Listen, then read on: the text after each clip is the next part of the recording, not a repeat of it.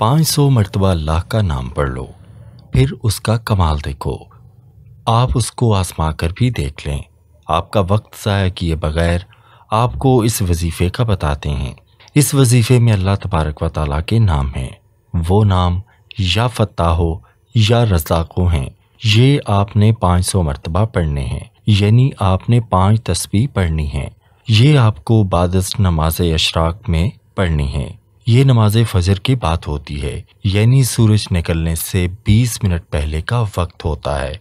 उसके बाद आपने दुआ करनी है। इस अमल को 21 दिन तक जारी रखना है। फिर आप देखेंगे कि आपकी किस्मत कैसे बदलती है। इन आपको उससे बहुत ज़्यादा फ़ायदा हासिल होगा। ये आजमाया हुआ और मुजरब अमल है।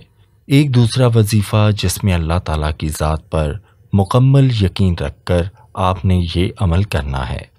फिर देखें अल्लाह ताला आपके हालात को कैसे ठीक करता है। सबसे पहले नमाज़ की पाबंदी करें। घर में कोई ऐसा ना हो जो बेनमाजी हो। कोई एक बंदा फजर की नमाज़ पढ़ कर आए और वो किचन में जाए, आधी मुट्ठी चीनी को ले ले और हर दाने पर अल्लाह ताला के तीन नाम या रज़ाको, या फताहो, या करीमो, इन तमाम नामों का वर्द इतनी तादाद में पढ़ना शुरू करते हैं, जितनी चीनी के दाने हैं। हर दाने पर नाम एक साथ पढ़ें। इन तीन नामों को पढ़कर एक शुमार करना है और जब ये अमल ख़त्म हो जाए तो आप उसकी कोई मीठी चीज़ बना लें और सब घर वाले खा लें। ये इतना मज़बूत अमल है कि कराम ने अपनी किताबों में इसके बारे में इसके मोजात बयान करते हुए लिखा है, अल्लाह ताला इंसान का नसीब ही बदल देता है। जो इस अमल को करता है और फिर अल्लाह ताला उसको वहाँ से रिस्क जारी कर देता है, जहाँ उसके गुमान में नहीं होता। आरजा कल्ब में मुबतला अफराद के लिए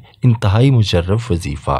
दिल की शरियाने खोलने के लिए रब ताला के इसमें पाक या फताहों का वर्त करें। इसमें ताला या फताहों को नक्श बनाकर पानी में डालकर पीने से भी मर्ज से नजात मिल जाती है। रिपोर्ट के मुताबिक इसमें पाक या फताहों को बादस नमाज़ फजर सात सौ मरतबा पढ़ें। अव्वल आखिर सात सात मरतबा दरूद पाक पढ़ें। अमल की मुद्दत चालीस दिन है। अगर उसका नक्श बनाकर पानी में डालकर पी लें तो दिल के मर्ज से खलासी हो जाएगी। उसी तरह से चालीस दिनों में चालीस नकूश लिखें और पीते जाएँ। इनशाला मर्ज दूर होगा और दिल के बंद वॉल्व खुल जाएँगे